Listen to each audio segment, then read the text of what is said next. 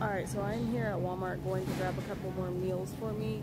Um, I'm going to give you guys some ideas of things that are low points and decent for Weight Watchers. Make sure when you get beef you're getting all 93 lean, 7 fat. This is the best. Like for example with the hamburger, you can make chili or vegetable soup. The only other thing besides that hamburger that you would divide into your own personal servings would be like the tomato sauce or tomato paste.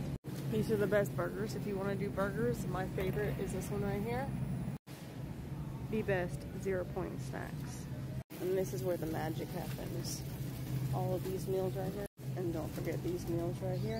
This right here, four points. This one, two points. Seven points. Five points. Three points. So if you guys want to think about it, depending between anywhere from $3.40 to $3.98 per meal. Not bad. No, don't forget, that could be your main meal. You can do corn on the cob, any kind of veggies, anything like that. Fruit, zero. I'm getting me more stuff for my smoothies, but I do want to let you guys know, make sure you guys get the Oscar Mayer um, center cut bacon. Make sure you also get uh, eggs. Eggs are zero. They fill you up. Eggs, doesn't matter what you put in it. I do, sometimes I do turkey, zero. Jalapenos, no cheese. Your best cheese is going to be like the Colby Jack, Colby Jack cheese, shredded, slice. Still scan everything. Barilla right here, whole grain, two ounces, four points. I'm not gonna lie, I use this one right here. A half a cup of this is three points, but you guys gotta make sure you're mixing your portions and you're scanning everything and calculating each point from the noodles to the meat to the sauce. I snack on a lot of veggies, veggie salad, um, pickles, smoothies. That's basically my, my go-to for snacks. I'm also not saying that you guys can't eat anything fattening. It's just go by how much it tells you to eat. If it says this cupcake was six points and you have six points to spare, eat just the amount that it tells you to eat.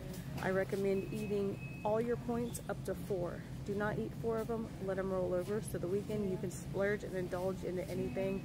Mine would be Mickey D's or some lemon drops. But I'm just trying to give you guys ideas on stuff. I'm gonna try to make videos of the stuff I eat throughout the day so you guys can see what I'm doing. My go-to um, fulfillers would be the zero sugars or sugar-free sodas.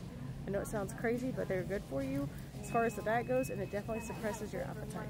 If you guys are trying to have a sweet tooth, like sometimes, very rarely I do, um, all your fun size candy bars, the little fun size, not the mini squares, but the fun size, the little rectangles, each candy bar is roughly four points. Just so you know that. So I just scanned this. These are fun size fast breaks. One little one of these right here is three points. It's a good snack when you have a sweet tooth. One of these little ones right here, this is four points per cup. Just giving you ideas when you guys have a sweet tooth because every once in a while in a blue moon I do. Anyways, I'm gonna get off here y'all. I'm gonna keep shopping and do what I gotta do. But listen, I will start making videos on the stuff that I eat, um, when I eat it and how I eat it and try to show you guys it to give you guys better understanding. But I am going solid back on Weight Watchers, getting back down to where I needed to be.